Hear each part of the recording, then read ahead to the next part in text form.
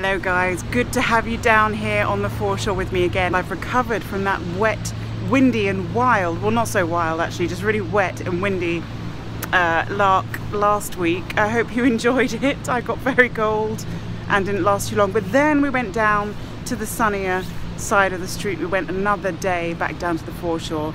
Some great finds. Okay, well let's see what I can find for you today. So what's the first thing we see? I'll give you a second. And now I'm going to zoom into it. Here it is.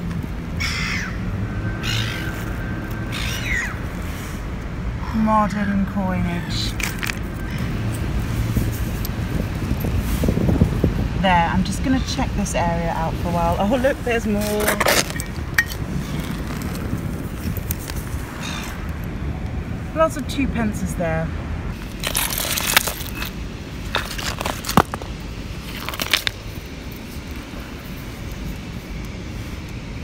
Oh, that's a nice one.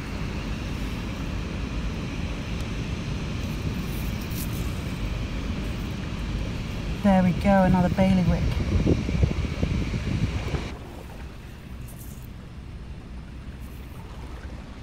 This I spy? Looks very buttony, but what material? Ah, that looks like a handmade bone button. Very nice. Really pleased with that. If you watch lots of my videos, you'll know that I really like bone um, and ivory and wood buttons.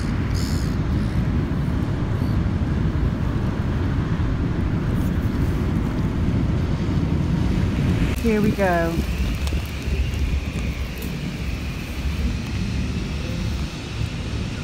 Now, can you see why I've picked it up? There's some decoration on there, yes. On the pipe stem, but look at this. There we go. Southwark, that would have said there. Southwark. And here's the maker's name. J. CR something. So we'll find out what that is and I'll put the information up on the screen right now.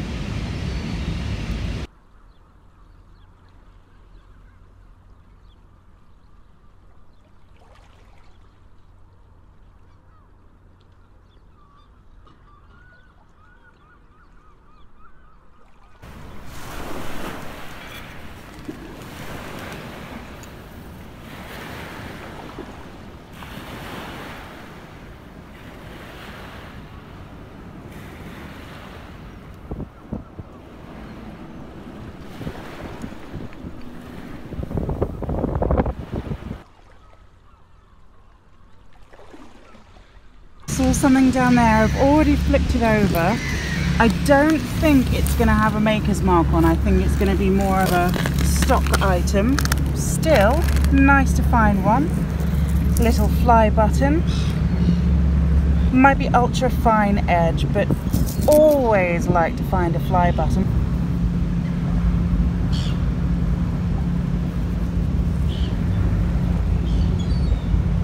Here, look at this tiny button I just found. Isn't that sweet? Perhaps a glove button? And I'd say more 18th, 19th century. Wow, that is a real cutie. So tiny.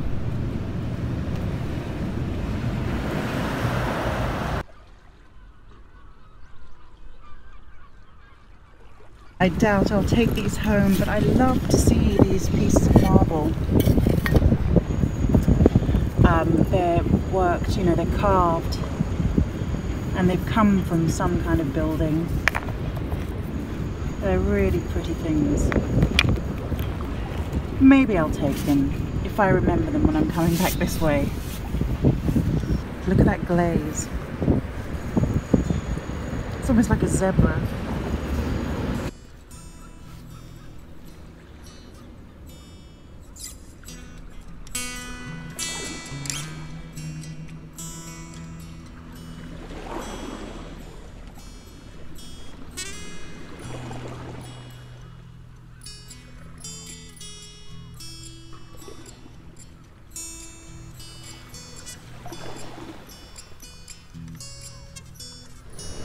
This is what we want to see. An aglet's just popped up here. This is a lace shape, a lace end, otherwise known as an aglet. Um, so I'm going to just have a good look around this area and see what else I can spot down here.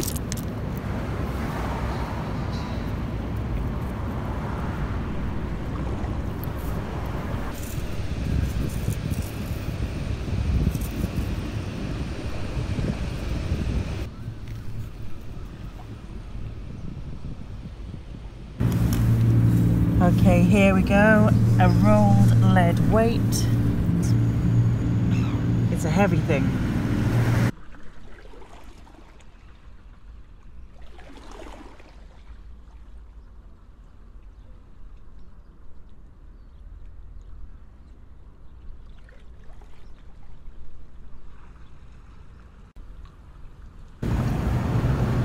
It's a day for buttons today and this looks like some kind of rivet from jeans or press stud.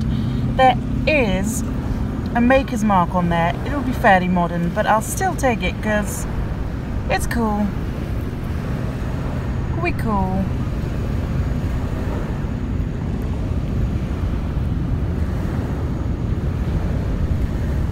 There's a little piece of a four or two part cloth seal. There we go. These keep turning up at the moment, so there we are. You would have seen me put these up recently.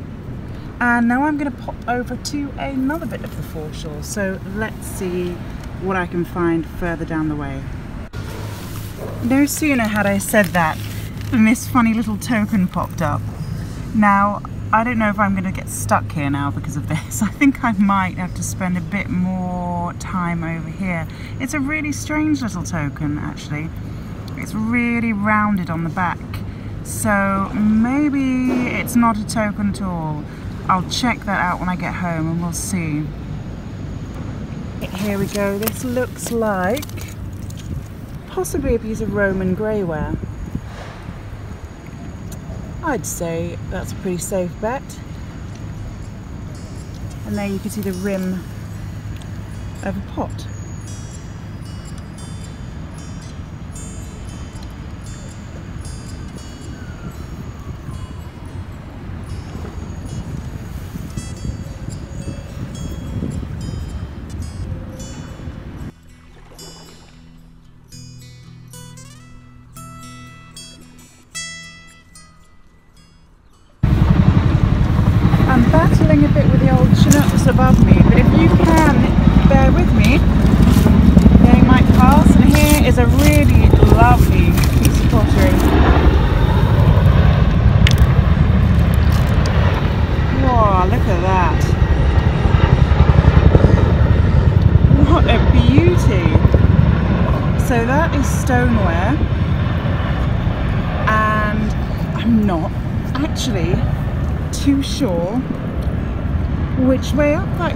goes. I think it might be the base. Love that piece of pottery, especially the manipulation of the clay here, where the potter has used their hands to make all this decoration.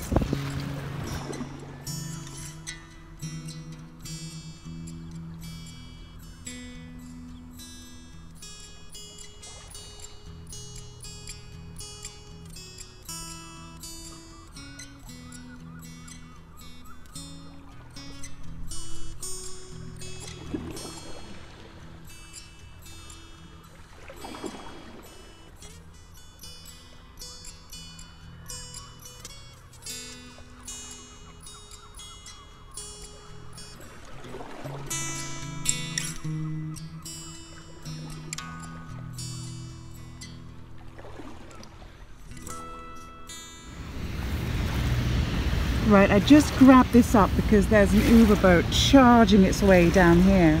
It's a button day, I tell thee. Here's another. And it actually has got a name on it, so we can do some lovely research on that. It looks like H. Culpin or Gulpin. Exciting stuff.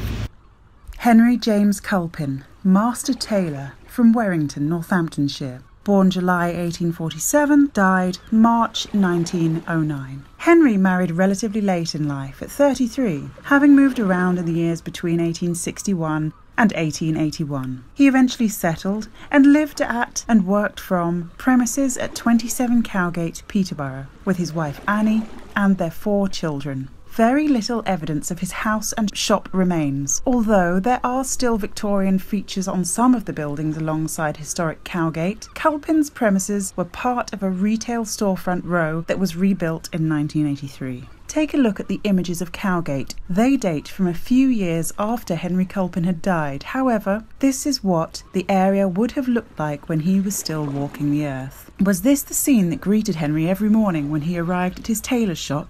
In 1912, Henry Culpin's premises became the Peterborough City Garage Company, as seen here. This is the only photo of Henry Culpin's premises as close to what it would have looked like when he was resident. If you'd like to find out more about Henry James Culpin, Master Tailor, check out the links in the video description. I'm looking at this patch here right on the water's edge. So as soon as this boat Oh, look, there we go. What's that? Broken, but little suspender buckle there. And it's got some patterns on it. Um, I'll hop down to this area again as soon as the boat has gone past. I'm going to jump out of the way any second now. Okay, here I go. Here it comes.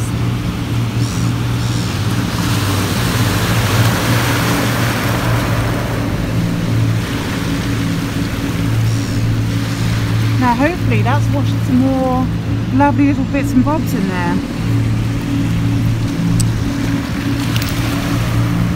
This is a bit of a silly take home, but I'm going to do it because this piece of metal looks just like a leaf. And I picked this up to brush it out of the way. But it's actually a piece of metal. It's a sweet thing and I can do something with it.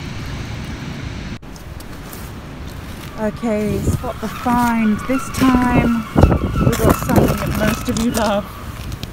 And it's an earlier one than usual. There you go. Early to mid 1600s. I think just a little nibble out of the edge, not sure. Oh no, maybe it's fine. And look, there you go. The bowl's much uh, the bowl's much smaller on these earlier ones and they're a lot more bulbous and then pinch in again. There we are.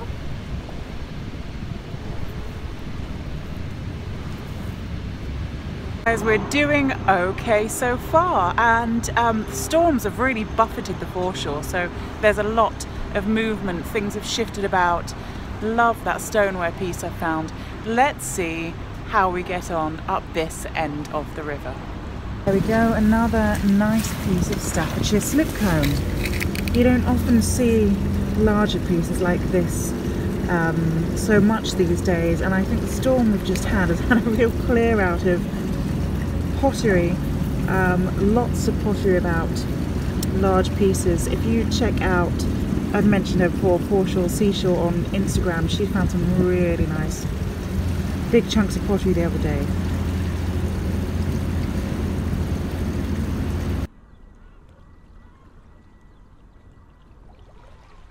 Sometimes I think my eyes are failing me and others I think they're working okay. I saw that little circle from way up here. Little air gun pellet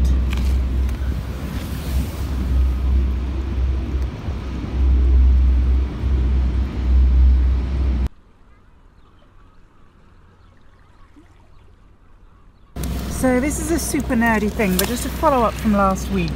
I was speaking to some of my mudlarking pals and I was describing these uh, sort of squished, I keep referring to them as squished pipe stems uh, and they're almost like a dime, uh, not a diamond shape, they're almost like a oval but pinched at the top and the bottom.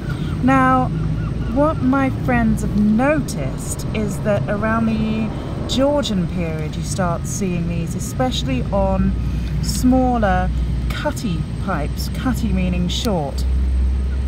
So yeah, I don't know the rhyme or reason, but it was just a style that I think was apparent in the 1700s and 1800s. I'm just a real sucker for these rose head nails. Love them.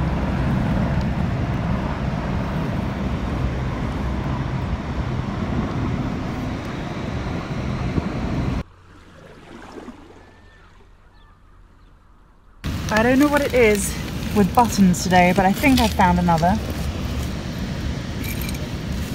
Another tiny button, potentially. It is as well. Look at that. A ridiculously tiny button of some kind. Two part button. And I can't quite make out the shank on there. it really is a day for buttons. Can't complain, love a good button. This here is something to do with metal, cast metal printing. And it looks to me like it's got, okay, so that either, oh, 8 times 24. Maybe that held all the little cast lead type, I don't know. Maybe it's a spacer. I'll find out when I get back. What does it say? 4, 8, no, just 8 times 24. 48 times 24. Ooh. Well, I'll find out when I get back because I love this um, printing stuff, this matrix printing. Alright, take that one home.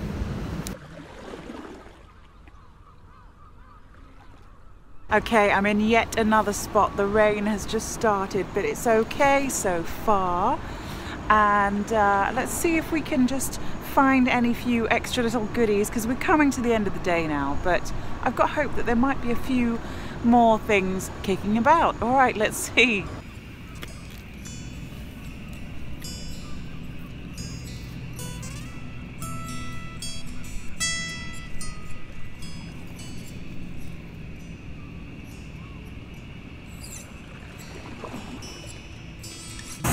I've gone back to the place I started and I think I'm on a roll with these blooming broken buckles. What is it with me and broken buckles? So, as I said last week, this is a partifact, a part of an artifact. Now that would have been nice had it been whole. Never mind. I'm just going to keep working through this stuff down here and then I will call it a day. I've actually been resisting doing this and I do it all of the time but look at this I can't resist anymore. Look, there's monster pin pile Look at all these. Pins, pins, pins. Don't worry about my fingers, they are fine. Look at them. Monster pin pile. All coming from up here. There they go. Hairpins, dress pins, as far as the eye can see. Well, look at this strange little piece of glass I picked up. That's a funny little wiggle there, isn't it? I'm going to keep that. It's obviously just, well, I say obviously, I haven't a clue what it is. It might be from glass manufacturing around the area I'm in. Um, I'm just going to keep that because it's a sweet little anomaly. There it is.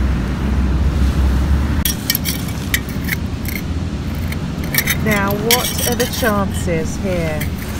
If you watched my video last week, you'll know what I'm talking about. Check this out. Guess who it is? It's our old mate, Joseph Bourne and Son. And so here we go, Denby Pottery near Derby. So this is a bit later than the fragmented bottle I found last week, which was from their Codnor Park works. But there we go, nice to see that, isn't it? A resolution from last week.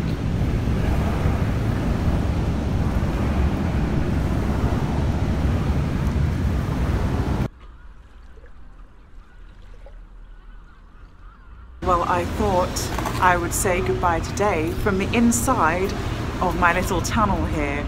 Um, so goodbye from me. Thank you for joining me. My favourite find of the day was that large piece of stoneware. I loved that.